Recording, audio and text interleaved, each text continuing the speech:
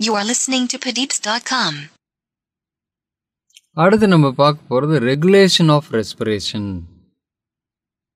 Respiration எப்படி ரிதமிக்காக inspiration expiration நடக்குது அப்படின்னு பார்த்தோம்னா there is a centre in the medulla oblongata call respiratory centre இதுதான் ப்ரீத்திங்கை மேஜராக கண்ட்ரோல் பண்ணுது.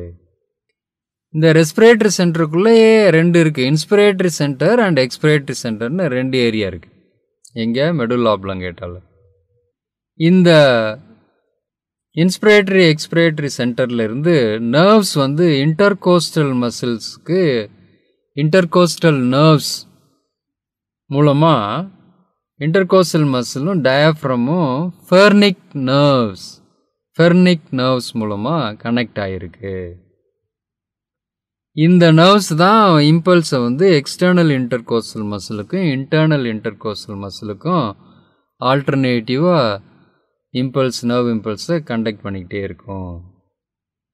இந்த ஆல்வியோலையில் வந்து ஒரு சென்சரி எண்டிங்ஸ் இருக்குது இது என்ன பண்ணோம்னா இந்த ஆல்வியோலர் வால்ஸ் வந்து எக்ஸ்பேண்ட் ஆகி கண்ட்ராக்ட் ஆகுதுல அதை வந்து சென்ஸ் பண்ணக்கூடியது.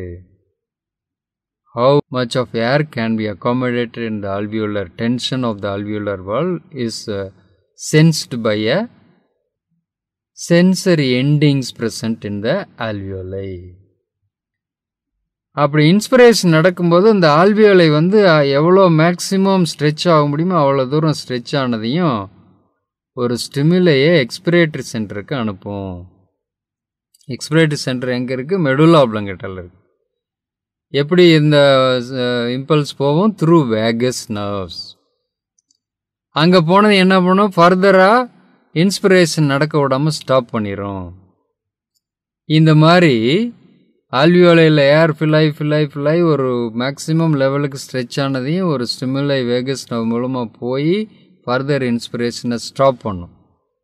இந்த சீக்வன்ஸ் ஆஃப் ஈவெண்ட்ஸ் என்ன சொல்கிறோம் ஹெரிங் பெருவர் ரிஃப்ளெக்ஸ் இது ஒரு standard three mark question what is Hering Breuer reflex at the height of the alveolar stretching a stimuli is sent to the expiratory centre in the medulla oblongata through vagus nerves which stops further inspiration which is called Hering Breuer reflex இது அல்லாமல் மெடுலாவில் there is also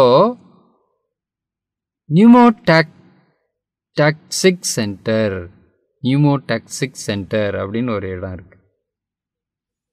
It is connected to the breathing centre which make sure that there is a rhythmic breathing happens inspiration நடந்துக்கிட்டு இருக்கும்போது இந்த inspiratory பார்ட்லேருந்து respiratory சென்டருக்கு நியூமோடாக்டிக் respiratory centre எங்கே அனுப்புதுன்னா அந்த pneumo toxic சென்டருக்கு ஒரு ரெஸ்பான்ஸ் ஒரு இம்பல்ஸை அனுப்பும்.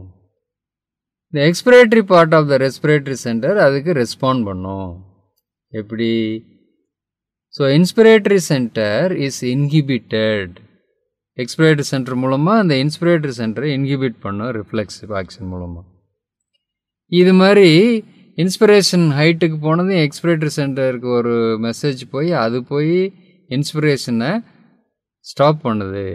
இப்படியே ஒரு cyclic rhythmic inspiration and expiration is control by centres in the brain பிரெயினில் இருக்கக்கூடிய நியூமோடாக்சிக் சென்டரும் மெடுலா ஆப்லங்கேட்டாவில் இருக்கக்கூடிய ரெஸ்பிரேட்டரி சென்டரும் கோஆர்டினேட் பண்ணி இந்த ரெஸ்பிரேஷனை ரெகுலேட் பண்ணுது.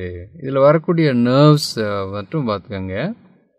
இன்டர்னல் அண்ட் எக்ஸ்டர்னல் இன்டர்கோசல் மசில்ஸோட connect ஆகிருக்கிறது respiratory centre medulla oblongata phrenic nerve ஆல்வியோலையிலிருந்து vagus nerve மூலமாக ரெஸ்பிரேட்டரி சென்டருக்கு எடுத்துகிட்டு போகுது. அப்படி போய் இன்ஸ்பிரேஷனை ஸ்டாப் பண்ணுறதுக்கு வந்து Hering Breuer reflex then also மெடுலாவில் pneumotaxic சென்டர்னு ஒரு இடம் இருக்குது இதுவும் பிரெயினில் இருக்கக்கூடிய மெடுலாவில் இருக்கக்கூடிய ரெஸ்பிரேட்டரி சென்டரும் ஒன்றா சேர்ந்து தான் இந்த ரெஸ்பிரேட்டரி ப்ராசஸை ஒரு ரிதமிக் ஆக்டிவிட்டியாக நடத்திக்கிட்டு இருக்குது You are listening to Padeeps.com.